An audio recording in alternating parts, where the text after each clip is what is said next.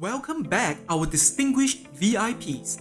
This is the concierge, here to continue with how the fanciful 4 stars hotel and above are decided. This is the second video of this topic, so please watch part 1 if you have not already. In part 1, we covered how hotels are decided to be worth 0 stars to 3 stars. If you were impressed by how much more effort a hotel has to put in just to move from 2 stars to 3 stars, you will be surprised by what a hotel has to do to achieve the highly coveted 7 stars. Make sure you stay to the end of this video to learn if an 8 stars hotel exists and how a 9 stars hotel is actually possible. Continuing from 3 stars hotels, we are starting to get real fancy with a 4 stars hotel. The difference between a 4 stars hotel and a 3 stars hotel is not drastic. Essentially, a 4 stars hotel does very similar to what a 3 stars hotel does, but they improve on each service. A 4 stars hotel is required to open the reception for 16 hours a day instead of 14 hours a day as we experienced with a 3 stars hotel. Not only does the lobby need to have seats available, but it must also come with beverages services. Bed linen is now changed twice a week instead of once a week, and not only are additional pillows provided, there must be different types of pillows for the guests to choose. Interestingly, only a 4 stars hotel and above are required to actually have an elevator servicing the hotel. Great news for those of us who feel climbing stairs is as tiring as others running a marathon. Overall, a 4 stars hotel may not have more services or facilities than a 3 stars hotel, but each service now comes with more options, more attention paid to it, and more effort put in by the staff. Comparing a 4 stars hotel to a 3 stars hotel is like comparing the iPhone 12 Pro Max and the iPhone 12. Features remain roughly the same, but you do get more cameras, a larger screen, better specification, and of course, a price tag that is worth your kidney. And now, let us take a tour around the luxurious and extravagant 5 stars hotel. Extravagance is the key word here. A 5 stars hotel does everything you would expect a hotel to do, but they go through the extra effort to cater to your comfort. One expects a hotel to have parking spaces, but a 5 star hotel not only provides that, they are required to also provide a valet service, so you don't even have to park your own car.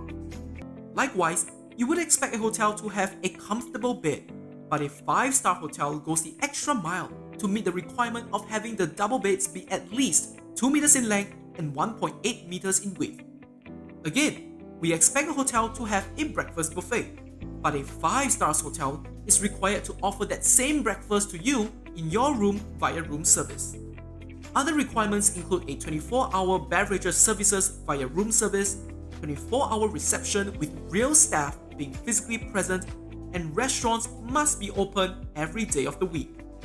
As we can see, a 5 stars hotel takes no shortcuts no breaks, no compromises, and caters to every needs and wants we could possibly dream of. This is like the same iPhone 12 Pro Max, except you've chosen to go with the largest 512GB memory, buying the latest wireless fast charging pad, the AirPod Pro, and all the other fanciful accessories that cost as much as your mortgage. Do you know what doesn't cost as much as your mortgage? Liking this video, subscribing to our channel, and turning on the bell notification to show your support for our hotel videos. In fact, it is completely free for you to do so, won't cost you a single penny, but will go a long way in helping us grow. Speaking of growth, did you notice how gyms, swimming pools, conference rooms, and other facilities we take for granted are actually not requirements under any of these hotels? Truth is, many hotels care more about providing facilities and services that guests will want rather than what the assessment criteria demands for. The assessment criteria is strict and rigid. A 3 stars hotel can never be a 4 stars hotel unless it puts a mini bar that sells overpriced chocolates in every room. This is because in order to be awarded 4 stars, you will need to meet all 95 minimum requirements with the minibar being one of the 95 requirements. However, having the minibar adds little value to most guests as we would rather eat local delicacies than to snack on expensive sneaker bars. As such, the money spent on buying hundreds of minibars is better used in improving the Wi-Fi connection of each room. This may not be a requirement for 3 stars hotels and will certainly not earn the hotel the 4th star, but it will definitely improve the guest experience. Likewise, many facilities we look forward to, such as swimming pools, may not be required, but hotels try their best to have them because guests really want them despite it not earning them any stars. Speaking of not earning any stars, 6 stars and 7 stars hotels do not actually officially exist. There is no official assessment for 6 stars and 7 stars. These stars are about as real as a 0 star hotel. They are simply marketing gimmicks. However, that is not to say that 6 stars and 7 stars hotels do not deserve their marketing title. You see, when a hotel is given 5 stars, it has to convince the European Hotel Stars Union that it is worthy of 5 stars. When a hotel tries to go for 7 stars, it has to convince the public that it is worthy of 7 stars.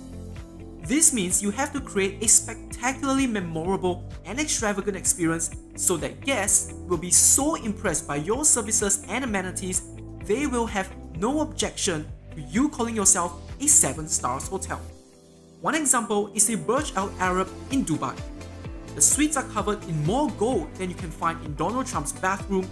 The bed sheets are probably made of Egyptian silk that Cleopatra herself will approve of, and you are only served the finest champagne and cuts of steak that puts Michelin-starred restaurants to shame.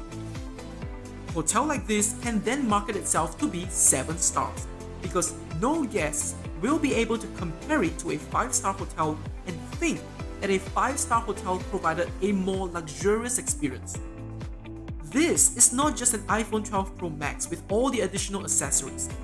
This is an iPhone 12 Pro Max that is covered in 24K gold and diamond crusted AirPods Pro, which is not too far away from the gold iPad you actually receive when you check into one of these 7 stars hotels. Finally, let's explore what it takes to be an 8 stars hotel.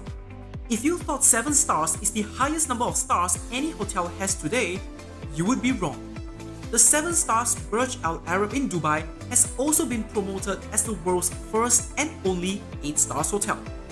How is this even possible? Well, because it is just a marketing trick. They can claim however many stars they want as long as the people the hotel is marketed towards are convinced by the number of stars. It is likely that in the near future, the title of 8 stars hotel will be more common just like how 7 stars hotels have become more prevalent in recent years. When that time comes, hotel marketers will have to find an even more extravagant way to promote the service of a hotel and claim to be the world's first 9 stars hotel. A 9 stars hotel must be so impressive, one night in it has to be an experience that is truly out of this world. But just because it is difficult doesn't mean hotel developers will stop trying to achieve it. This race for a 9 stars hotel will likely continue throughout human history. Perhaps the first 9 stars hotel will be the very first space hotel built on the moon or established on Mars. In a sense, that will truly be the first hotel to literally reach for the stars.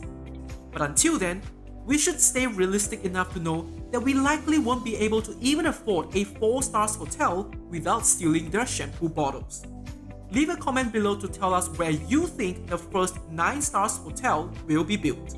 For more information on the specific requirements and scoring system for 1 star hotels to 5 star hotels, we have included a link in the description below. Scoring sheet is the official assessment criteria used by the European Hotel Stars Union from 2020 and onwards. In our opinion, it seems like a 3 stars hotel is the most worth it simply because they are the very first hotel class to provide a wide variety of services that are beyond your basic necessities. In addition, the large increase in the number of minimum requirements from a 2 stars hotel to a 3 stars hotel also means you're getting more bang for the buck. If you have wondered how hotel stars are decided, we hope you have learned the differences in requirements as we progress from 0 stars to 9 stars. Let us know in the comments below which hotel you feel is most worth your money. Here at The Concierge, we hope to become a hospitality YouTube channel that is worthy of your 9 stars. Please consider subscribing to our channel so that you may support our content as we bring you even more videos about the hotel industry. We hope you have enjoyed your stay with us and here is the concierge checking out.